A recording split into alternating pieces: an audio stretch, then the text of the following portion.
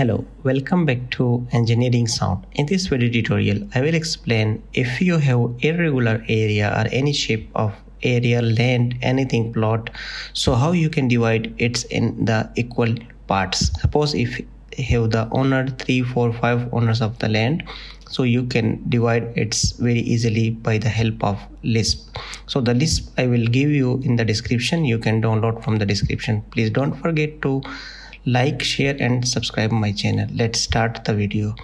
So for example this is a simple example. We have this area. We want to divide it in three four uh, however how much parts you need you can divide it is very easily. No matter how is the shape of land you can divide it with the help of lisp. Okay so let's start the video first of all we will check the area with the list command okay? Make okay. This is our area. So let's copy the area and open the quick calculator from AutoCAD. QC for the quick calculator. You can use it okay? Paste the area here so we can see how much is our total area and per person how much is required to give and divide in parts let's paste here the total area in the calculator okay? And divide. Suppose we need three four five how much? Let's divide it in three part. We need in three parts this okay? For one owner for the one person the area is coming this one. Let's copy this one and paste here. Here is the let's draw a line from here. Suppose straight line okay and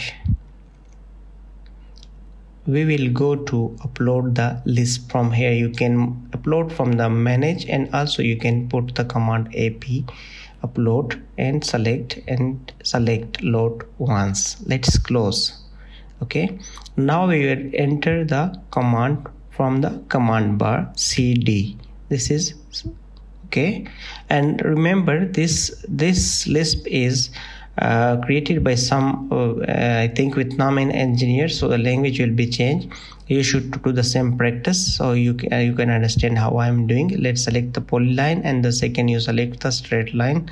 And now you need to pick the area which one you need to make it as per person okay? And enter the area per person which we divide by 3 let's paste here okay? This is the area and enter. Okay here we need to select the s.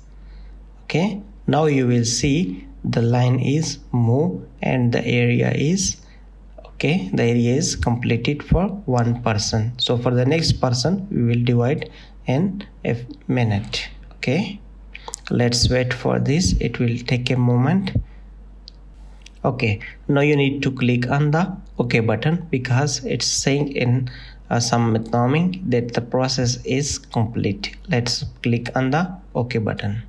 Okay now we will copy this line and uh, same copy for here to do the same practice for the next person. Let's put it here somewhere. Okay and enter now we will do again the same practice. Let's go to the command bar and put the command cd okay? And press enter. Now it's saying to you to select the polyline.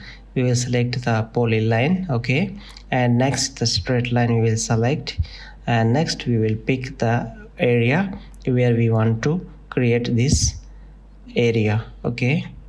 Let's enter. This is per person okay and here you can enter and click on s build. Okay and now now you will see that it's move toward the other session. It's mean that the area is divided successfully. Per person this area now i will show you are our area is correct or not. I will check one by one. Okay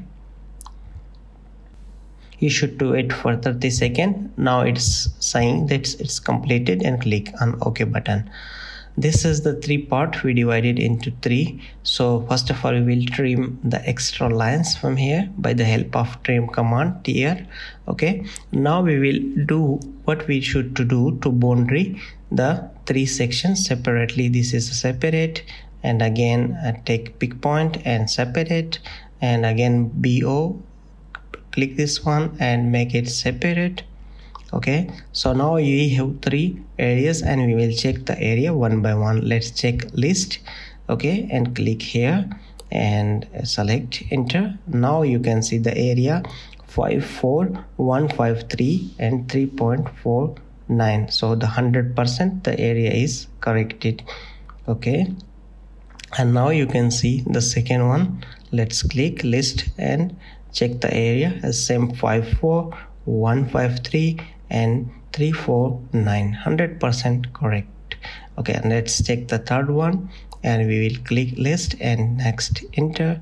You can see 54153 349 100% the area is corrected. If you multiply this section by 3 you will get the total area which you look on the top 162 460 dear students and dear fellows i hope you guys learn from this video.